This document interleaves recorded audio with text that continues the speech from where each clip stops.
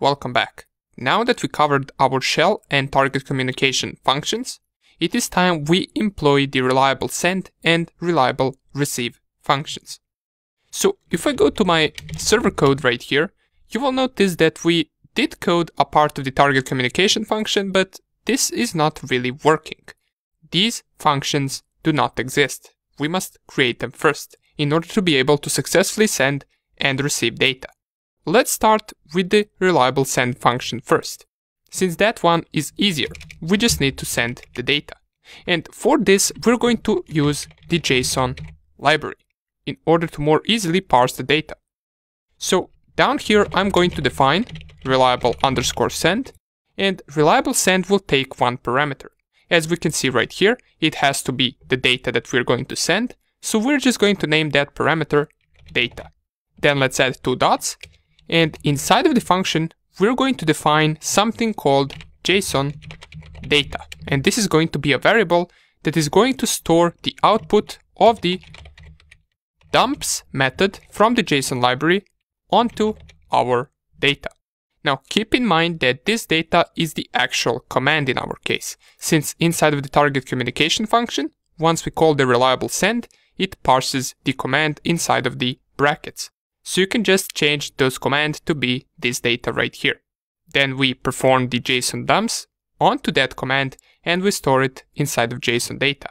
And finally, we can use the send function from the socket library onto our target to send the actual data. So we can type JSON data. And just to remind you, this target is the actual target socket object that we get once we accept the connection. We're just using a socket send function onto this target object once we're sending the data. But one more thing before we finish with the reliable send function is that in Python 3, once we are sending the data over sockets, we need to encode that data. So we can do that by simply specifying inside of the brackets our data and then encode function onto it. Then it will first encode the data and then it will send it with the send function. Simple as that. Now the same thing we need to do with our reliable receive. So I'm going to code it right here, reliable receive. And we know that the reliable receive doesn't take any parameters inside of the brackets. And what we're going to do to receive the data is we're first going to define a variable to be an empty string. We're just going to call it data. And we're going to then enter inside of the infinite while true loop. Inside of that loop, what we're going to try is we're going to try to get the data by typing data equals data plus target.receive. And just to remind you, the receive function is the function from the socket library. So we're just using it once again onto our target connection. And this receive function takes one parameters. That is the amount of bytes that we want to receive. In our case, we're just going to specify 1024 bytes. But this is not everything that we must do. Remember that once we are sending the data, we actually encode the data? Well, in order for us to get the data as it was before it got encoded, we must then decode the data once we receive it, right? And at the end, we're going to add a strip function onto all of this. Okay, great. After that, once we receive the data, we can return from this function the json.loads of our data.